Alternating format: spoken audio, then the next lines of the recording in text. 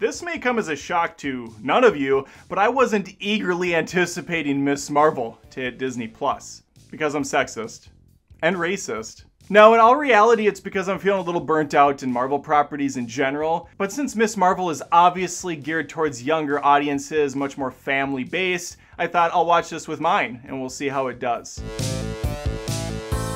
This show is the definition of content to me. It's it's there, it's watchable, it's not doing anything amazing, but it's also not doing anything insulting. Our superhero this time is a high schooler named Kamala Khan, and she's a massive fan of Captain Marvel, which makes her incredibly unique because she's literally the only person who's a fan of Captain Marvel. She's got her posters, she's dedicated a costume to her, she has an entire YouTube channel that's nothing but how great Captain Marvel is. Brie Larson's a smoke show to be sure, but that character, we, we gotta do better with her. Hopefully the sequel does. That said, the show itself is pretty fun. It's got a good vibe to it, a nice energy. It feels like Spider-Man Homecoming on the small screen. It also kind of reminded me of Scott Pilgrim. And no, it's not near that level of amazing, not even close.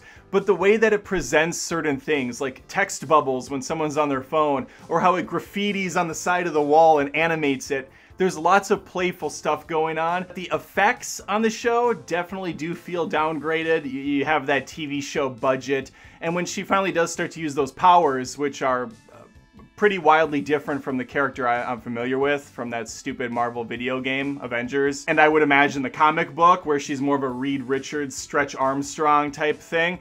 Here she has kind of quasi Captain Marvel powers, but it's isolated to, at least for now, her hands that can stretch. I imagine she can do other things, but it's all done through a power amulet she conveniently got from her grandmother's belongings th- th- this whole plot right now is, is kind of silly and childish. I'm hoping that that starts to take shape a- as the show progresses because right now it's just a convenient, oh, I found this, and it happens to give me amazing superpowers. They'll, uh, they'll flesh it out. This is only the first episode. The family and I liked it. We'll watch more. We'll see where this roller coaster goes. The only big standout as far as kind of like stupid shit goes is there is a moment towards the end where she's at Avenger Con, which is the first and the big deal uh, uh, for this character. She uses the ability accidentally, which knocks a giant Ant-Man head into a pool, which becomes a giant Indiana Jones style bowling ball. The physics on this thing are completely insane. It, doesn't add up. I mean, I'm not a scientist by any stretch of the imagination, but the momentum that thing somehow conjured out of nowhere just didn't stack up. It didn't film correctly. So this thing's just going, blows through a wall, which snaps a cable, which la launches Thor's hammer into the hot, cool girl of the school, and she goes flying against the wall. Looked like it killed her. Uh, I don't know if that was supposed to be played for laughs or what, but that thing freaking wrecked her. She dropped like a bag of dirt. Then the audience was a wide range of emotions between flabbergasted, shell shocked, and just kind of loving it all around. Thought maybe it was part of the performance. So that was a very weird scene, how it was shot and filmed. But for the most part, I really do dig the, the style they're going with here. It's very youthful, very energetic, definitely very much speaking to me as a, as a middle-aged guy. I'm, I'm really getting that feeling. Characters are all likable. I really enjoy Kamala's family. They seem fun and like they're to get into some hijinks together. Kind of reminds me of Sam Witwicky's parents from those uh, critically acclaimed Transformers films hey, you know what? They're, they're dumb, but they get the job done. We had the Weeknd to kick things off. I don't think that song was appropriately used, I'm gonna be honest. When it was in the trailers, it worked a lot better.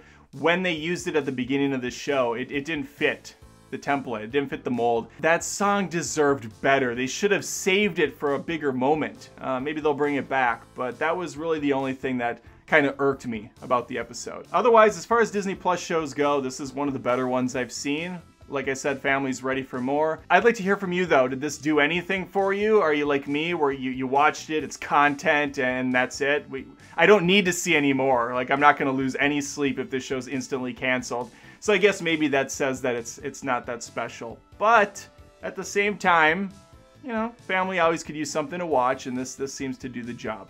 All right, let me know. Like the video if you had a good time. Think about subscribing as I post tons of movie and TV show related content each week hit that notification bell so these pop up in your feed, and hopefully I'll see you stick around. Take care. I do like how they tried to kind of cover up the fact that Captain Marvel is just never around when it's convenient.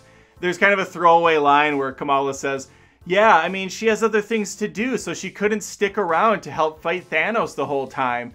What could have possibly been more important than half of the galaxy getting wiped out? What was she doing?